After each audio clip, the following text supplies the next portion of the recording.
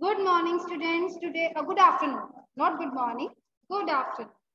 So, let ठीक है smile तो आई ना फेस पे कहीं ऐसे बोर होके बैठे थे so let's start our topic kingdoms kings and early republic आज उसमें हम टॉपिक पढ़ेंगे changes in agriculture so far we studied about varna system we studied about कि वहाँ पे जनपद कैसे फॉर्म हुए? लेटर ऑन दो janapada they gain the power they became mahajanapada.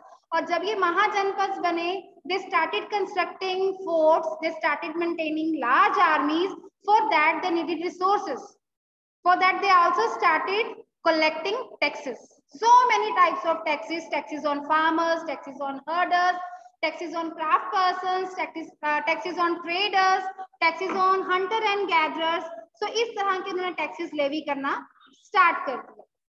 आज जो हम नेक्स्ट टॉपिक पढ़ेंगे that is about changes in agriculture और जिस टाइम की हम ये बात कर रहे हैं ना at this time took major agricultural changes took place अब इसको ध्यान से समझना है कि मैम क्या बता रही हैं। So be attentive listen to ma'am careful okay so आज का जो टॉपिक है चेंजेस किसमें in agriculture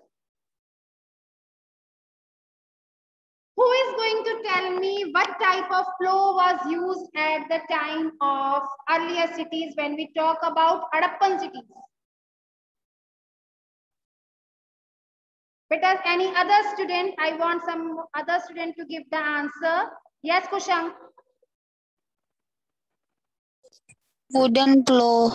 Wooden plow. Okay, very good.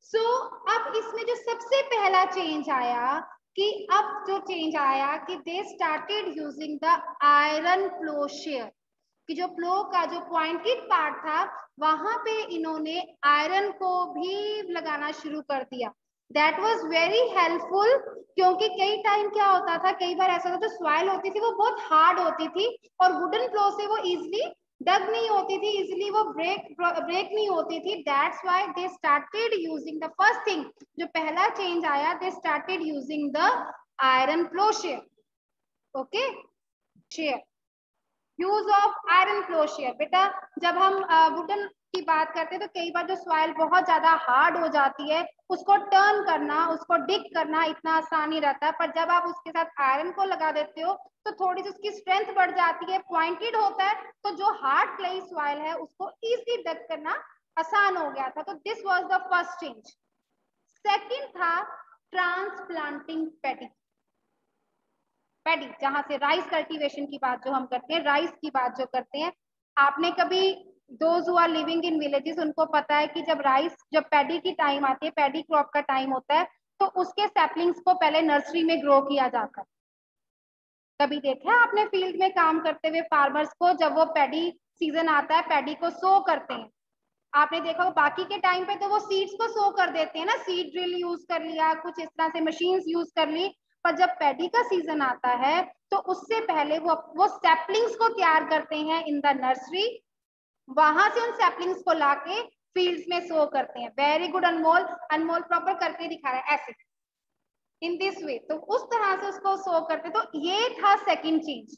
मतलब जो चीज़ उस टाइम पे हुई और still we are following the same आज भी हम उसी चीज़ को फॉलो कर रहे हैं। अब जो ट्रैक्टर अब हम ट्रैक्टर्स यूज़ करते हैं, जो ट्रैक्टर के पीछे हमने वो फ्लो लगाया होता है, वो आयरन का बना होता है, जिससे सॉइल इजिली फ्लो हो जाती है, वो भी आयरन का है।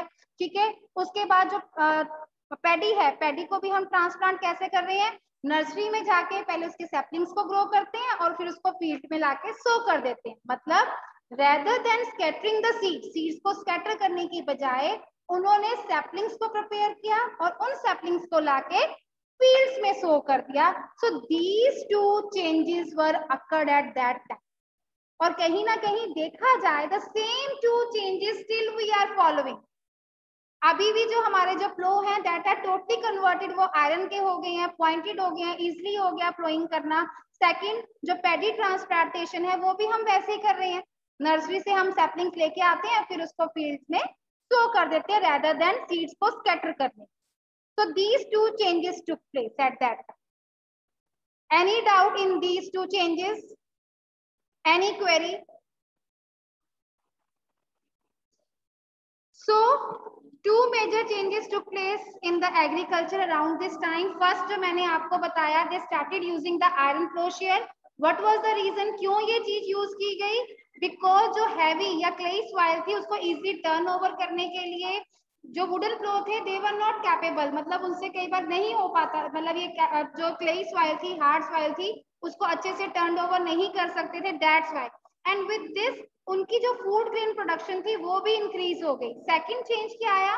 People began transplanting paddy paddy होती है राइस कल्टीवेशन जब हम राइस को ग्रो करते हैं, उससे पहले उसके छोटे छोटे सेपलिंग्स को हमने ग्रो करना शुरू कर देते हैं and then we plant into the field तो उस टाइम पे transplanting of paddy was started and with this there was increase in the production इससे क्या हुआ? जो क्रॉप प्रोडक्शन थी, वो एकदम इंक्रीज हो गई एंड मोर प्लांट सर्वाइव और काफ़ी, अब देखो, जब हम सीड्स को स्कैटर करते हैं तो कई बार ऐसे होता है, जो एनिमल जो बर्ड्स होते हैं, वो उठा के सीड्स को ले जाते हैं, या कई बार बहुत ज़्यादा पानी दे हो जाए तो वो प्रॉपर ग्रो नहीं कर पाते। पर जब उन्होंने ट्रांसप्लांटिंग ऑफ़ पैडी करना स्टार्ट कर दिया तो इससे क्या हो गया? There was an increase in the cultivation increase in the production अब ये काम करता कौन था?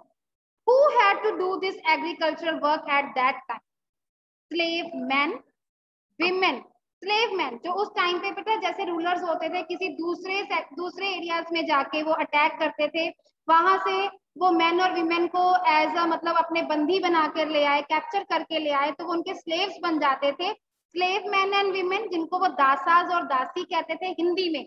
Dasas and dasi and landless agriculture बेटा, आज के टाइम पे भी देखो कि अगर हम विलेजेस की बात करें every one is not having land अगर हम विलेजेस की बात करें तो विलेजेस में हर एक के पास अपनी लैंड नहीं होती.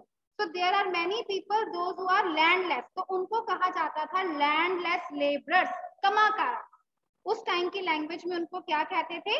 कमाकारा सो एग्रीकल्चर का काम कौन कर रहे थे? Who were doing all this work कि ट्रांसप्लांटिंग करनी है फ्लोइंग करनी है? तो ये जो फ़ील्ड पे जो सारा काम हो रहा था who all were doing slave man slave women जिनको वो दासाज और दासीज कहते थे एंड लैंडलेस एग्रीकल्चरल लेबर्स मतलब उनके पास अपनी तो लैंड नहीं थी, पर वो दूसरों की लैंड पे अपनी सर्विसेज़ प्रोवाइड करते थे। They were known as landless agriculture labours आज भी ऐसा होता है बेटा। Present time also there are many people जिनके पास अपनी लैंड नहीं है but they help the farmers in doing the work and in return they get the wages उनको उस, हर काम के जितना दिन वो काम करते हैं तो उनके उसके पैसे मिलते हैं। ठीक है? तो यहाँ पे दोनों वर्ड्स लिखे गए हैं। इंग्लिश में भी लिखे गए हैं, हिंदी में भी लिखे गए हैं। Dasas and dasis and kammakaras so these were the people those who do this agriculture work अब जो नेक्स्ट टॉपिक है दैट इज़ अबाउट मगध। अभी तक हमने पढ़ा कि जनपद के बारे में पढ़ा, अभी हमने महाजनपद के बारे में पढ़ा टैक्सेस कलेक्शन के बारे में बात की एग्रीकल्चर के बारे में बात की, अब हम पढ़ेंगे उस टाइम का दी मोस्ट इंपॉर्टेंट महाजनपद। जिस टाइम की हम बात कर रहे हैं, उस टाइम पे एक फ़ेमस महाजनपद हुआ है Magadh.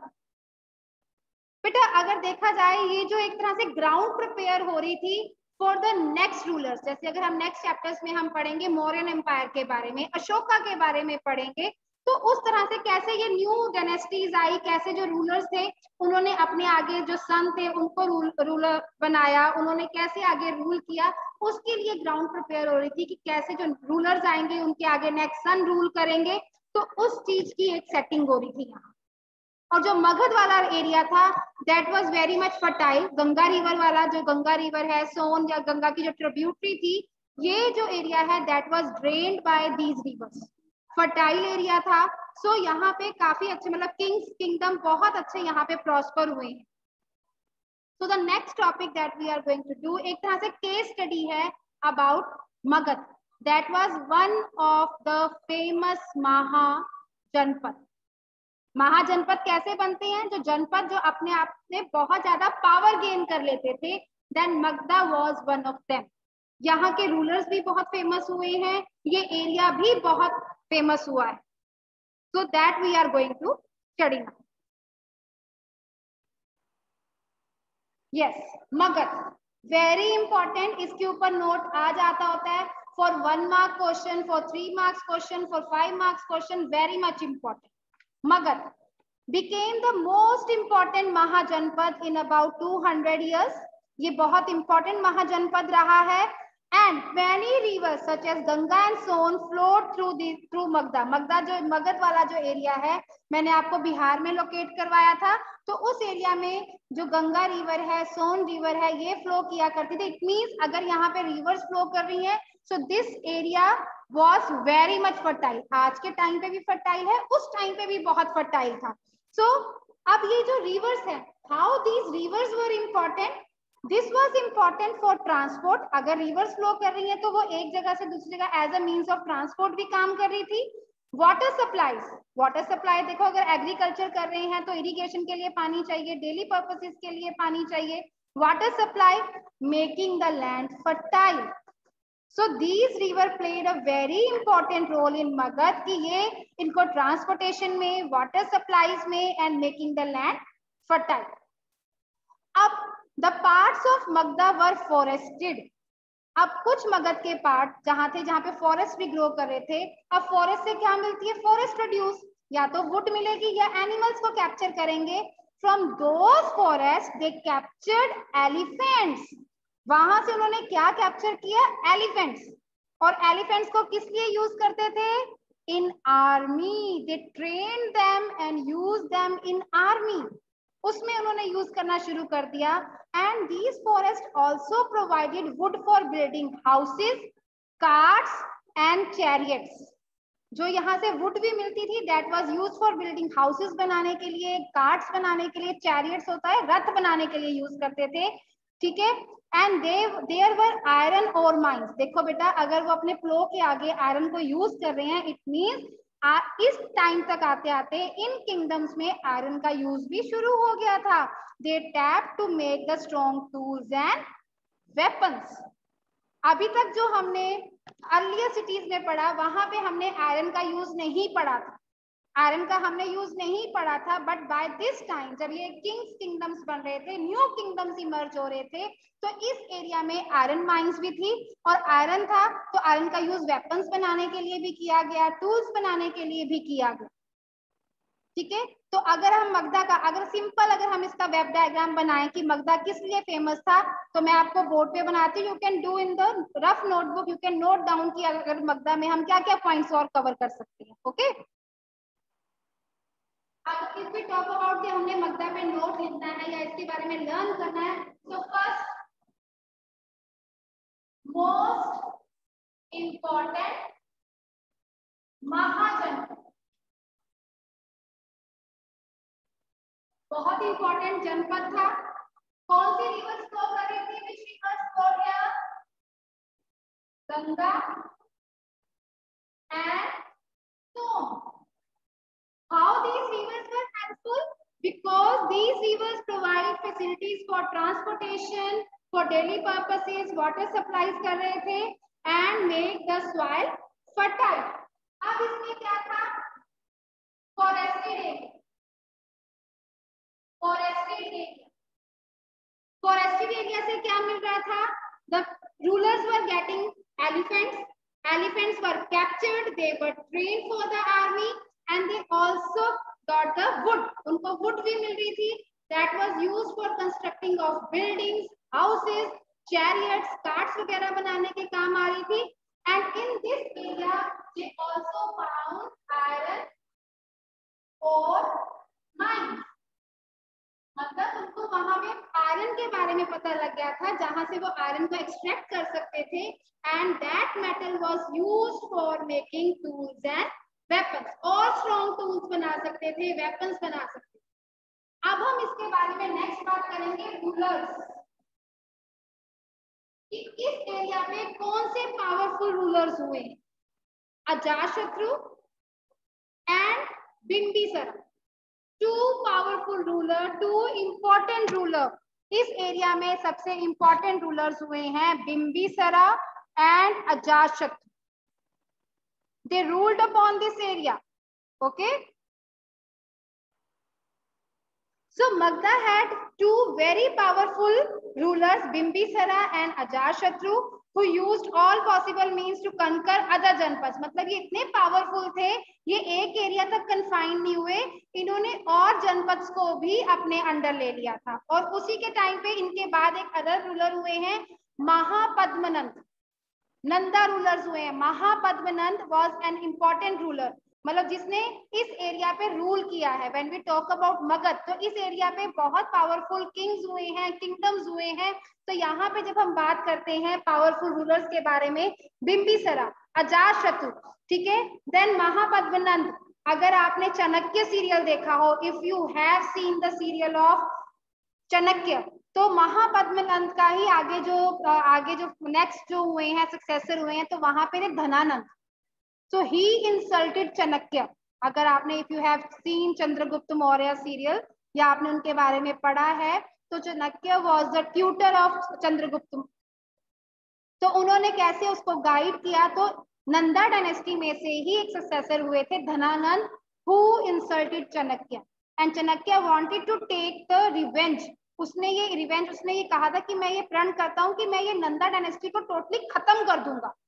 For that he prepare Chandragupta इसलिए उसने चंद्रगुप्त को प्रिपेयर किया and he took his revenge so इस एरिया पे जो पावरफुल रूलर्स हैं सबसे इंपॉर्टेंट बिंबिसरा एंड अजाशत्रु और उसके अलावा जो और भी इंपॉर्टेंट रूलर हुए हैं नंदा डायनेस्टी से बेटा डायनेस्टी क्या होती है मैम डायनेस्टी वर्ड यूज़ कर रहे हैं what do we mean by dynasty एक रूलर के बाद जब उसका सन आगे चल के जो रूल करता है मतलब सेम फैमिली मेंबर जब रूल करते हैं दैट इज़ कॉल्ड डेनेस्टी एक पर्टिकुलर एरिया को पहले एक रूलर था, उसके बाद उसके सन ने रूल किया, उसके बाद उसके सन ने रूल किया मतलब ruling by the same family that is called dynasty तो नंदा डायनेस्टी हुई तो उसमें से महापद्मनंद हुए, वो भी फ़ेमस रूलर थे। अब मगध है तो जो जिन्होंने मगध का एरिया लिया तो उनकी कैपिटल क्या थी? The capital of this the area of ruler of this area was पहले थी राजगृह पहले जो कैपिटल थी दैट वाज राजगृह, ठीक है? उसके बाद later on they had shifted their capital to Pataliputra. Pataliputra, आज के टाइम पे पाटलिपुत्र को क्या कहते हैं? पटना। ठीक है? तो जो रूलर्स थे, जो मगध मगध पर रूल कर रहे थे तो उन्होंने अपनी कैपिटल किसको बनाया? सबसे पहले राजगृह को बनाया। लेटर ऑन उन्होंने अपनी कैपिटल शिफ्ट करके पाटलिपुत्रा कर ली, जिसको आज हम प्रेजेंट डे टाइम किसके नाम से जानते हैं? पटना के नाम से जान, पटना। ठीक है? अब इसी टाइम पे एक और कंकर हुए हैं, जिस, एक और रूलर की बात आती है एलेक्जेंडर वर्ल्ड कंकरर जो चाहता था कि मैं पूरी दुनिया पे राज करना चाहता हूँ। मैंने पूरी दुनिया जीतनी है Alexander the great now we are going to study कि इस टाइम पे उसने क्या किया? But he had done so more than 2300 years ago a ruler name Alexander वो कहाँ से था? मेनली वो कहाँ से था? मैसेडोनिया से in Europe he wanted to become a world conqueror मतलब वो पूरी दुनिया को जीतना चाहता था। ऑफ़ कोर्स उसने ऐसा कुछ नहीं किया but he conquered many parts of the world उसने इजिप्ट वेस्ट एशिया काफ़ी एरियाज़ को कवर किया।